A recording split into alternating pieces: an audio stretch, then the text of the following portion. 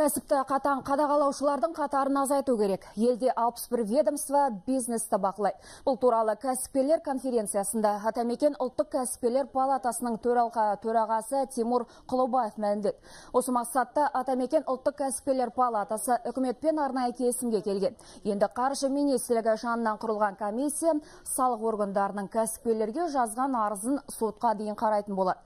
Сонымен қатар Тимур Құлыбаев салық кодексіне түзетулер енгізу керек екенін жеткізді. Есть поручение главы государства. Мемлекет басшысының салық кодексін қайта қарауға қатысты тапсырмасы бар. Біз өз кезегімізде арнайы жұмыс тобын құрдық, сарапшыларды шақырдық. Қазір салық жүйесін жетілдіріп, оның кәсіпкерлерге түсінікті болуы жолында жұмыс жасап жатырмыз. Алдағы уақытта өз ұсыныстарымызды жолдаймыз.